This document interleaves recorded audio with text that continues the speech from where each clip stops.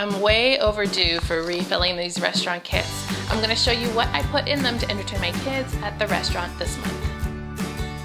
Hey, hey you guys, it's Christina from the Purple Alphabet and welcome to my channel. If you are new here, make sure to click that subscribe button so you can get videos about educational activities you can do at home with your kids, plus ideas and inspirations to learn through play. If you haven't already entered the giveaway for our Oribel wall toy, you definitely should take advantage of that. The contest is still going on until this Friday, so it's not too late to enter. I'll put that video down below so you can find out all the giveaway details. I have totally failed at restocking my restaurant kits. Yes, it seems like it's such a little minuscule thing, but it was a big deal because we ended up going to a couple of restaurants these past couple weeks and I have not refilled these. And as a result, my kids were very, very disappointed. I've kind of trained them to have them. So then I thought, well, you know what? We probably have some kind of coloring thing we could do at the restaurant. I'd say maybe two out of the four restaurants we went to did not have that option. So I was very, very disappointed and it's time to refill these. And so I wanted to show you what I'm putting into them this month. If you want to see what I put in them in the past, you can go back and watch a whole playlist I've created, all kinds of ideas that you can put in these restaurant kits. But here's what I'm putting in this time. So there's been some serious slacking on updating these kits. I have two of them, one for my almost four-year-old and one for my five-year-old, and they are both pretty much um, used up. So I need to redo these. I'm gonna empty out all of the old stuff out of here. Might put some of it back. Even some drawing paper has been used up. So this box is for my almost four-year-old. I get these boxes from Daiso. Um, Japan and I like them because they have a little enclosure they're a hard case. You can also find them on Amazon and if I can find them I will put the link down below so you can get one for yourself. Sometimes they sell it really quick but just keep checking back because um, they come back in stock every so often. I had originally taken out her coloring book that's kind of a staple that I put in here um, but she had asked for it to go back in so I did slip this in since my last video. She's almost almost done with this she's one of those girls that will color page by page. She's got like five more pages left in here to do.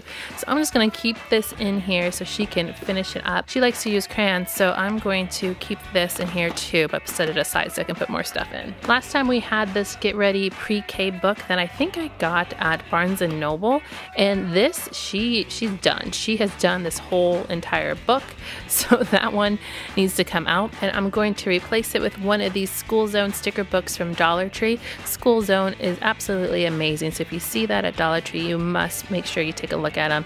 Um, these are sticker books, and inside they've got these blank mats and there's different scenes on each page and then there's a set of stickers in the middle and you can pick which stickers go on which scene so I thought that was pretty fun so I think for this one I'm going to pick I think I'm going to pick this one, The Things That Go. And then I'm also going to put this other sticker book because she's huge on stickers right now. This is another Dollar Tree find, so it's one for farm and there's 80 stickers. And the focus is a little bit different, whereas those had mats.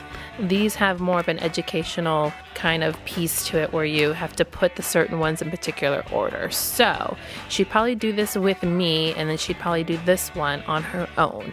She had originally had all of these sheets of stickers. I'm going to just keep one or two, because this one's almost done, in her for now in case she wants to add them to anything. She likes to put stickers on everything, if you couldn't tell. Also in here previously were these number sticker puzzles. This was from the 99 cent store, and it's almost done. She's got one and a half puzzles to do. So basically there's this blank number sheet and then all of these stickers that are numbered. And on this page the sticker sheet they're all mixed up. But when you put them in the correct spot and the correct number they form a picture. So you can kind of see one that's starting to form here. So she's almost done with this. I'm going to just keep it in here until we finish it off so that um, she can be done with it. I wanted to include something a little bit more tactile for her. This is a just a Dollar Tree pencil box that I put some phonics match cards in these phonics, phonics match cards came from Target maybe last summer or the summer before but they're a phonics matching game where you look at the beginning picture and find the matching one, and then use a clothespin when you find it to do your answer. So I have it all in here. And if it fits in my box, it would be perfect. She just needs a little review on those beginning letter sounds, so I thought this would be a good way to kind of do it quickly. And then lastly, I'm going to do this dry erase game. Oop, I need to clean that off. It came from the Target Dollar Spot maybe three years ago or so. It's spiral bound and some markers to use that and a little eraser. And if it all fits, yeah, we're in luck. It worked. So that is for my four-year-olds. Next is my five-year-olds box, which has a lot of stuff that's already done, some coloring sheets. She also had a similar workbook, just a level up, and I think she's finished it too.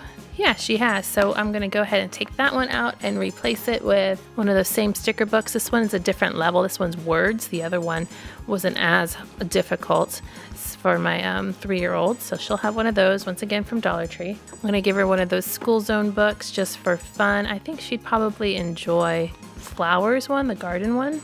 And then this was in her book, and these are just little um, reproducible books that you can make from the Dollar Tree. They come in a pack like this and so it, was pretty successful. So I'm going to take one or two of them out so she can color those and make little books. She thought that was kind of fun. She had had this drawing book, which she never got to, so I'm just going to put this away and readdress it and see if she likes it later. She has a blank book. I get these from Target as well, and they're not quite filled up, so I'm going to go ahead and keep this with some stickers in case she wants to do some of that. And she loves the gel pens. And then she also had this unicorn um, notebook that she likes to just draw in. So I'm going to keep that in there so she can draw on that. Came with a little bookmark, which she really liked. I'm going to give her a dry erase book too. This one came from the Target Dollar Spot um, maybe last summer. You know what? Actually, I'm going to take out this notebook because if she has this little um, magical pink notebook, she's not going to need two give her a dry erase marker, an eraser. This game came from the Dollar Tree. It's from their National Geographic thing where you put um, an animal on your forehead and you try to have the others give you clues about what animal it is. I thought this might be fun, so I'm going to put the cards and one of the headbands in. And then lastly, this is just a little busy bag that I have, the days of the week, which is what she's been kind of interested in recently. And then it came from Target. And has all these little clothespins that you match up the days of the week. They're written right on the clothespin and you put them on the correct spot. So I'm going to put this in here, see if she shows any interest in using this because she has been showing interest to learning her days of the week. And then these were in the kit last time. They're a set of colored pencils, the unicorns and rainbows from Target Dollar Spot. I'm just gonna slip these in here because I know if they're not in there, she'll probably be missing them. Let's see if it closes. Always the deciding moment. and it does. Perfect. Have you found anything really cool to put in a restaurant kit? Let me know down below in the comments. I love to hear all these new ideas because I need them too. If you are interested and live in the area of Southern California, you are welcome to come to my meet and greet at the Lakeshore Learning Store in Carson, California. I would love to meet you. It's in mid-June and you can find out all the details on a video down below and we can do some shopping at Lakeshore Learning Store together. Make sure to click subscribe to see more videos like this and give me a thumbs up to show your love.